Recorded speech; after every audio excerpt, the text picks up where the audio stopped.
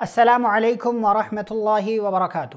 بسم اللہ الرحمن الرحیم۔ نحمدہ ونسلی ونسلم علی رسول الکریم۔ اما بعد۔ ایک مسئلہ ہے، لوگ سوال پوچھتے ہیں کہ بنا کپڑے کے ننگے بدن ہو کر نہانا کیسا ہے، کیا غسل ہو جائے گا؟ اس سلسلے میں علماء کے بہت سارے فتاوہ موجود ہیں۔ شیخ ابن باز رحمہ اللہ سے سوال پوچھا گیا تو انہوں نے جواب دیا، لا باس۔ کوئی حرج نہیں۔ بنا کپڑے کے ننگے بدن ہو کر غسل کرنے میں کوئی حرج نہیں ہے۔ اس لیے کہ نبی مکرم صلی اللہ علیہ وسلم نے بغیر کپڑے کے غسل کیا ہے۔ حضرت موسیٰ علیہ السلاۃ والسلام نے کیا ہے۔ جیسا کہ سورہ احزاب کی آیت ہے، یا ایوہ الذین آمنوا لا تکونوا کالذین آدوا موسیٰ فبرأ اللہ مما قالوا۔ اس کی آپ تفسیر دیکھیں تو آپ کو معلوم پڑے گا۔ اسی طریقے سے حضرت ایوب علیہ السلاۃ والسلام کے تعلق سے ہے۔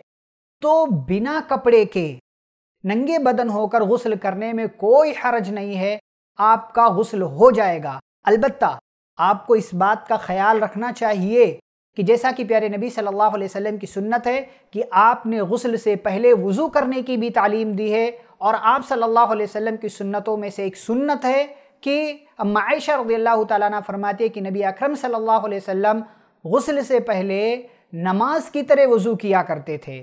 تو اگر انسان بنا کپڑے کے نہا رہا ہو، غسل کر رہا ہو، تو ممکن ہے کہ اس کا ہاتھ اس کی شرمگاہ سے ٹچ ہو جائے، لگ جائے، تو اس کا وضو ٹوٹ جائے گا، باقی نہیں رہے گا۔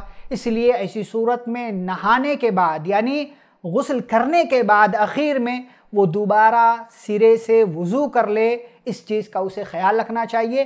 لیکن ننگے بدن ہو کر، بنا کپڑے کے نہانے میں کوئی حرج نہیں ہے۔ شرط یہ ہے کہ انسان پردے کی آڑ میں ہو، کسی خاص کمرے میں ہو، غسل خانے میں ہو، جیسا کہ ہمارے اپنے گھروں میں ہوتا ہے، اگر عام شاہراہ پر وہ ننگے ہو کر نہاتا ہے یا اپنی شرمگاہ کو دکھاتا ہے یا جو سطر کا جو حصہ وہ دکھاتا ہے، تو یہ اچھی چیز نہیں ہے۔